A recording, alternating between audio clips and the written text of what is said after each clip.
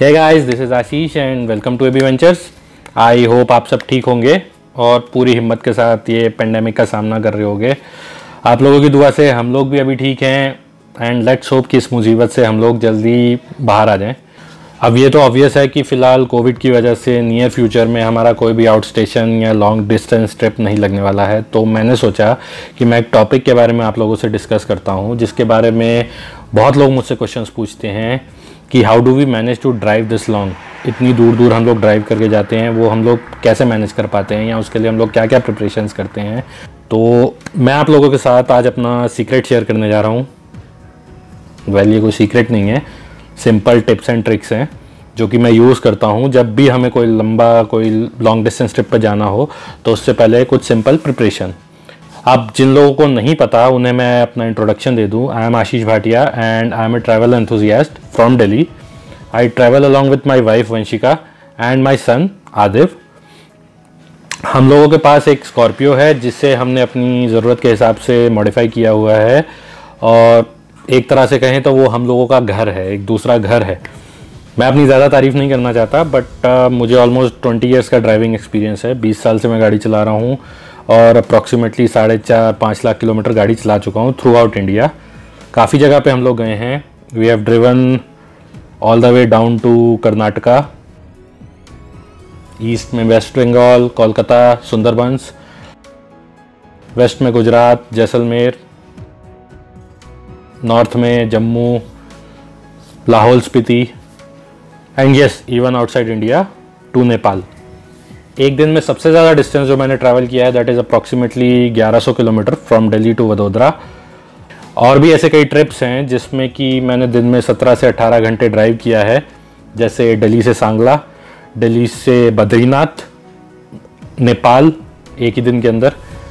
अब डेफिनेटली अगर आपने अभी अभी कार चलाना शुरू किया है और या फिर आप रोड ट्रिप्स के लिए एकदम नए हो, ज़्यादा एक्सपीरियंस नहीं है तो रातों रात कोई चमत्कार नहीं होने वाला है और आप एकदम से दिन में हज़ार बारह सौ किलोमीटर चलाना शुरू नहीं कर दोगे। It takes experience and time कि आप उस लेवल पे जाओ। My intention is to share some points जो कि आपकी हेल्प करेंगे to easily drive long distance बाकी तो प्रैक्टिस मेक्स परफेक्ट धीरे धीरे आपका कैलिबर अपने आप बढ़ जाएगा. So here are the points that can make your long drive easy starting from planning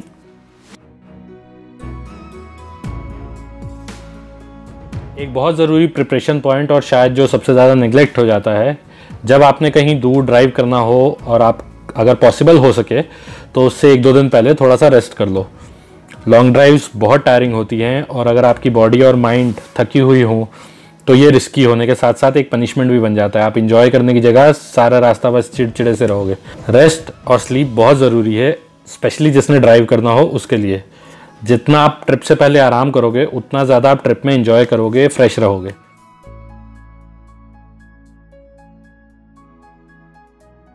जैसे पहले रेस्ट करके आपने अपनी सर्विसिंग करी उसी तरह से कहीं दूर जाने से पहले कार की प्रॉपर सर्विसिंग होना भी ज़रूरी है।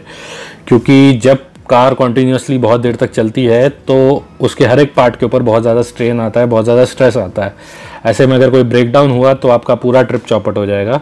सो so, निकलने से पहले अपनी कार को किसी मैकेनिक या सर्विस सेंटर वाले को दिखा दो जो प्रॉपरली चेक करके देख ले कि सब ओके है।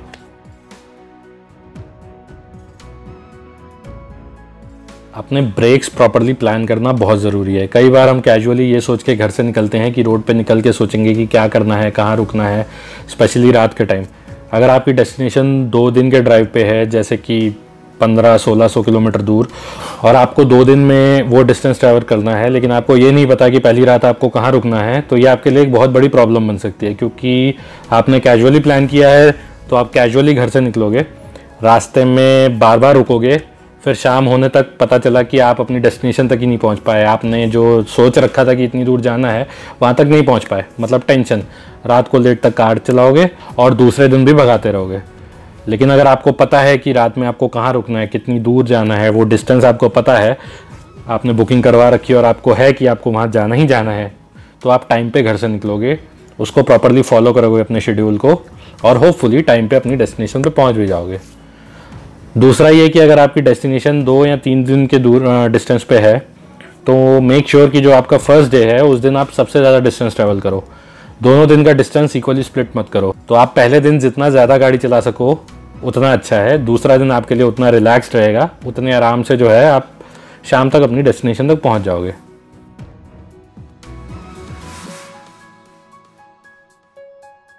ये एक ट्रिकी पार्ट है और हो सकता है कि कई लोग मुझसे एग्री ना करें। मैं एक मॉर्निंग पर्सन हूँ। मैं सुबह जल्दी उठ जाता हूँ और मुझे ऐसा लगता है कि the best time to start a journey is रात के दो से तीन बजे के बीच में। ट्रैफ़िक ऑलमोस्ट ज़ीरो होता है। एक साइकोलॉजिकल सेटिस्फेक्शन रहती है कि थोड़ी देर में सनराइज़ हो जाएगा। और तीसरा ये कि शाम को टाइम रहते मे बी सनसेट होने से पहले आप अपनी डेस्टिनेशन पर पहुँच जाओगे। अगर आप लेट निकलते हो तो लेट पहुंचोगे। सारा दिन आपका ट्रैफ़िक और सड़क पे निकल जाएगा। प्रिपरेशन का पांचवा पॉइंट अपने साथ स्नैक्स पानी जूस बेसिक मेडिसिन ये सब चीज़ें प्रॉपरली रख लो। एक तो आपको बार बार रुकना नहीं पड़ेगा। दूसरा, अगर एकदम से किसी चीज़ की ज़रूरत पड़ जाए, जैसे कि पानी या कोई मेडिसिन और आप किसी सुनसान से स्ट्रेच पे हो तो आपको ज़्यादा प्रॉब्लम नहीं आएगी।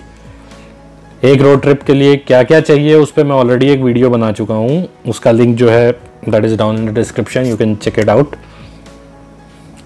अब ये तो थी ट्रिप शुरू करने से पहले की प्लानिंग। अब एक्चुअल में रोड ट्रिप पे या रोड के ऊपर क्या क्या करना है मैं वो बताता हूँ।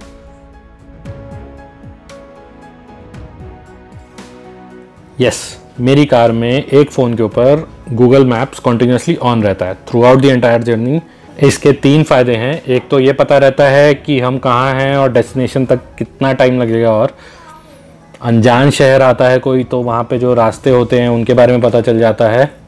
और तीसरा ये कि अगर रास्ते में कोई ट्रैफ़िक जाम हो तो हमें पहले ही पता चल जाता है।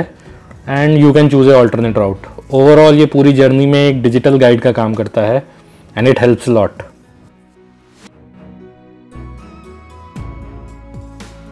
yes ये सुनने में थोड़ा अजीब लगेगा बट बचपन में सुनी हुई खरगोश और कछुए वाली जो कहानी है, वो सच है। सबको लगता है कि लॉन्ग डिस्टेंस मतलब गाड़ी तेज़ भगाओ बट अगर आपको बहुत दूर जाना है और आप अंधाधुंध गाड़ी भगा रहे हो लेंस बार बार चेंज कर रहे हो जिगजैग कर रहे हो, एकदम से एक्सेलरेटर दबा रहे हो, एकदम से ब्रेक दबा रहे हो तो आप जल्दी थकोगे। आपकी कार के ऊपर ज़्यादा स्ट्रेन आएगा, आपकी माइलेज कम रहेगी और सबसे बड़ी प्रॉब्लम यह है कि ये बहुत ज़्यादा रिस्की है। Try to drive within a moderate speed range 80 से 100 के बीच में चलाओगे तो ट्रस्ट में आपका ओवरऑल ट्रैवल टाइम जो है, आधे पौने घंटे से ज़्यादा नहीं खींचने वाला। उससे ज़्यादा डिफरेंस नहीं आएगा और आप जर्नी ज़्यादा इन्जॉय करोगे। इसकी जगह आप अपने ब्रेक्स कम करो। आपका एक ब्रेक आराम से आपका आधा एक घंटा खा जाएगा। मतलब कि अगर आप एक चाय के ब्रेक के लिए भी रुकते हो तो आप वो टाइम लूज़ कर दोगे जिसमें आप 40 से 60 किलोमीटर कवर कर सकते थे। तो हम लोग एक बार चलने के बाद कम से कम तीन चार घंटे तक कॉन्टीन्यूस गाड़ी चलाते हैं, रुकते नहीं हैं।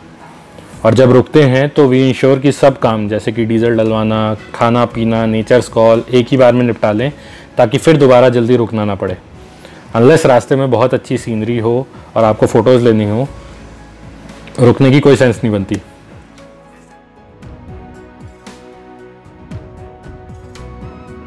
ट्रिप के ऊपर आप जितना ज़्यादा कंफर्टेबल रहोगे, उतना कम थकावट होगी। आरामदायक कपड़े पहनो, चाहे तो एक पिलो लेके अपनी बैग के पीछे आप रख सकते हो, एक लंबट सपोर्ट के लिए। पीठ में भी दर्द कम होगा अच्छा म्यूज़िक एसी जितना ज़्यादा अपने आप को कंफर्टेबल रख सकते हो, उतना रखो। सो so दैट की थकावट कम से कम हो। और आप ज़्यादा इंजॉय कर पाओगे। जब आपको ड्राइव करना हो तो थोड़ी थोड़ी देर बाद हल्का हल्का खाओ। थोड़ा थोड़ा पानी पीते रहो।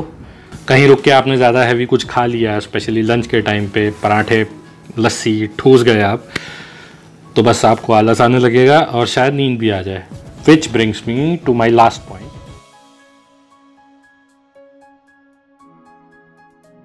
तो ये पॉइंट ड्राइवर के लिए एप्लीकेबल है। अगर हल्की सी भी नींद आने लगे तो स्टॉप योर कार इमीडिएटली वहीं पे साइड पे अपनी गाड़ी रोक दो, उतर जाओ। हाथ मुँह धो लो, थोड़ा वॉक कर लो। बट किसी भी हाल में गाड़ी चलाते मत रहना। ड्राइव करते हुए एक भी झोंका लग गया तो सब खत्म। थोड़ा मुँह चलाते रहो चिप्स खा लो चुइंगम खा लो, पानी पी लो या अपने को पैसेंजर्स के साथ गप्पे मार लो। और अगर ज़्यादा प्रॉब्लम हो रही है तो किसी ढाबे या रेस्टोरेंट के पास रोको। गाड़ी की सीट रिक्लाइन करो और 15-20 मिनट आधे घंटे का एक नैप ले लो। ये आधे घंटे की नींद आपकी यहाँ रोड पे किसी और की ज़िंदगी बचा सकती है। तो इट इज़ इंपॉर्टेंट गाइज़ अगर नींद आ रही हो तो गाड़ी मत चलाओ just take a break so this is it guys ये कुछ सिंपल सी बातें थी जिनका अगर आप ध्यान रखोगे तो आपका लॉन्ग डिस्टेंस ड्राइव जो है, वो बहुत इन्जॉयबल बन जाएगा and you will have a lot of fun I hope आप लोगों को वीडियो पसंद आया होगा। Do give your feedback in the comment section below and thanks for watching and I see you soon again तब तक के लिए keep travelling keep living see ya